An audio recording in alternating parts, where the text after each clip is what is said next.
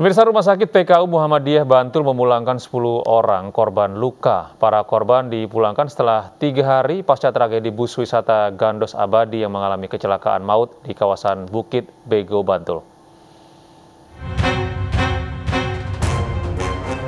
10 pasien penumpang bus wisata yang mengalami kecelakaan di kawasan Bukit Bego, Bantul yang menderita luka-luka dipulangkan.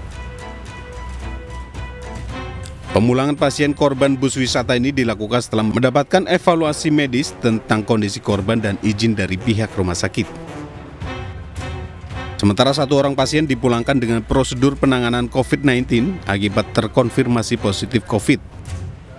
Arah sore mulai Batu Maghrib kita sudah memulangkan 10 uh, korban musibah bus di Bukit Bego. Alhamdulillah 9 pasien sudah proses dipulangkan barusan dan nanti satu lagi kita proses untuk dengan perlakuan khusus karena terkait dengan pasien isolasi.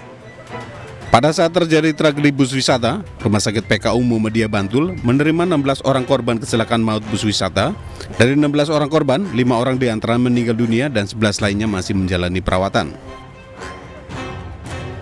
Dengan dipulangkannya 10 orang korban laka bus maut, Rumah Sakit PKU Muhammadiyah Bantul kini tinggal satu orang pasien yang masih dalam perawatan intensif. Ya perasaan alhamdulillah rasanya senang banget.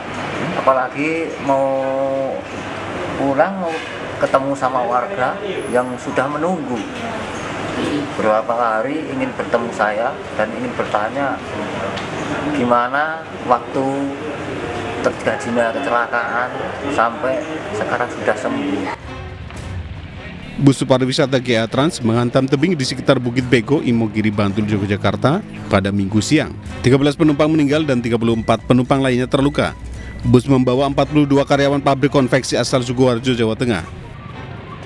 Dari Bantul, Yogyakarta, Trisna Purwoko, Ainus melaporkan.